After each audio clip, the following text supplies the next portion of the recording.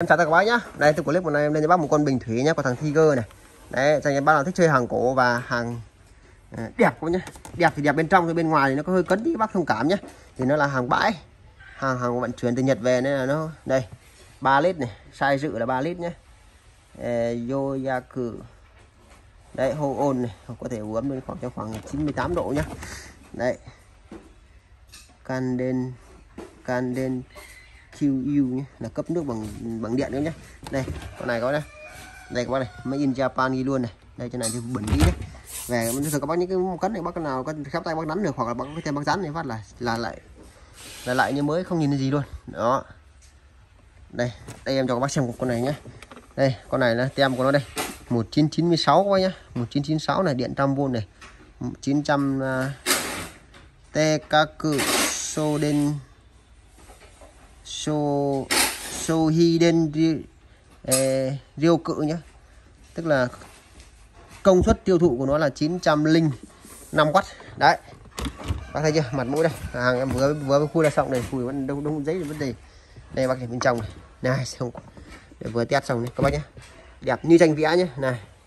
Khui xong em test luôn các đây nhé thấy chưa? Xoong này. Mọi thứ này. Nha con này nó mới tinh luôn nhé cái này nó lại có hơi nước bốc lên đấy. Lại mới tinh luôn nhé xoong giòn này, đây, con này con này còn chưa dùng nữa, đây. Con này nó cả cái chế độ lọc ấy luôn này. Than lọc anh nha chưa?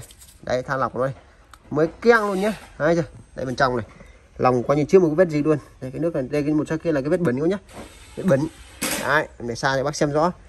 Con này lúc nãy em em em em không đổ nước vào em test thì em qua cho bác xem thì thật sự các bác là nhìn nó sáng lắm.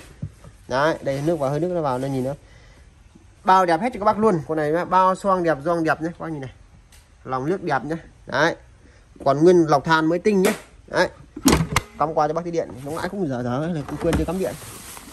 Đấy. Là mê.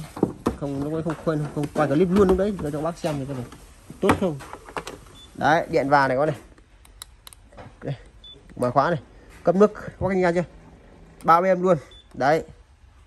Đây con này có chế độ là cắp bụi ramen là pha mì nhé đấy, đây mực nước hiển thị đây nhá. Đấy, đấy nó, nó, nó, nó đang báo là ấy, ấy nước. Đấy thì con này em bán con này với giá là 800k nhá 800k bác nào lấy thì bác liên hệ với em nhé 0983 329 705 nhé hoặc 0825 853 853 cho em nhé đấy bác các bác đi qua trong xin một like một chia sẻ này. Bác nào chưa đăng ký thì xin đăng ký nhé em chào các bác. Đấy.